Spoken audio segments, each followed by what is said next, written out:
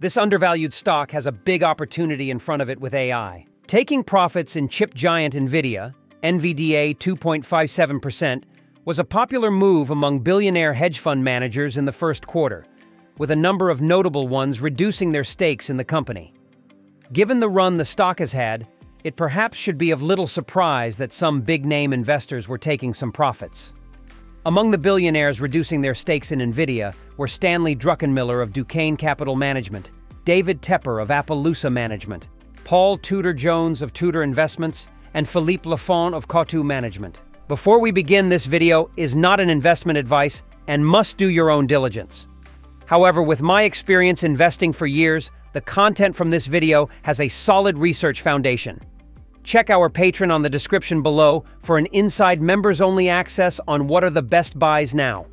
We will also update you on what to sell for gains or to avoid losses. Subscribe to our channel so you will never miss out.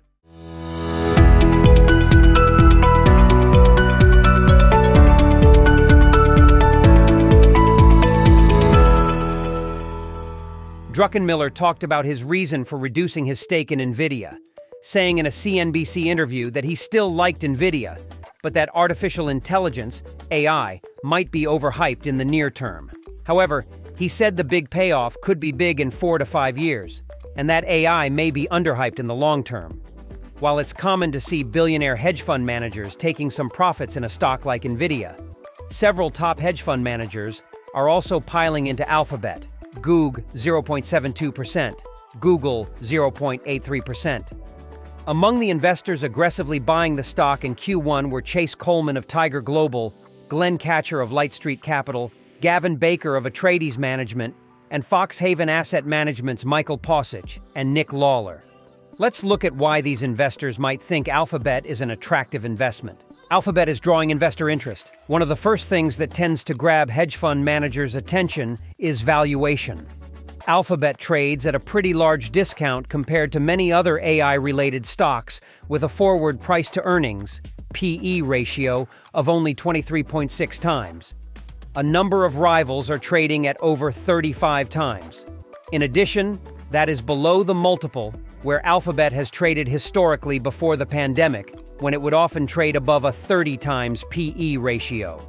That gives Alphabet stock room to run higher, but valuation alone is not a reason that well-regarded hedge fund managers would buy the stock. An investment in Alphabet is an investment in a company that has two dominant businesses, with Google search and video platform YouTube. Google is nearly a monopoly with about an estimated 90% share in global search. While there have been some fears of AI impacting its search business, the company is embracing the technology, rolling out AI overlays at the top of page results to answer more complex questions. Alphabet will look toward new ad formats to help monetize its latest AI efforts to drive growth. With only about 20% of its search results including ads, this is actually a pretty large opportunity for Google Search to become even more profitable in the future, by monetizing the search results it doesn't make money from currently. Alphabet's YouTube platform should also not be overlooked. While many streaming services outside of Netflix have struggled with profitably due to content costs, the revenue sharing model that Alphabet uses with creators has long alleviated these issues. Meanwhile, the company has a strong opportunity to profit from short form videos that compete with TikTok, which it has just started to monetize. If its competitor gets banned in the US, this could be a big opportunity for the company. In addition, Alphabet's cloud computing business is still in the early days of ramping up profitability. Given the high fixed costs of the business, profitability should now grow much faster than revenue, which will be driven by AI adoption. Should retail investors follow suit and buy Alphabet? Alphabet is a relatively inexpensive stock with a dominant position in search and a big opportunity ahead of it with AI. While the stock has had a strong year, up about 27% year to date, it is not too late to follow hedge fund billionaires into the stock. The company has a long runway of growth ahead and multiple expansion potential, which is an increase in its valuation multiples, such as PE.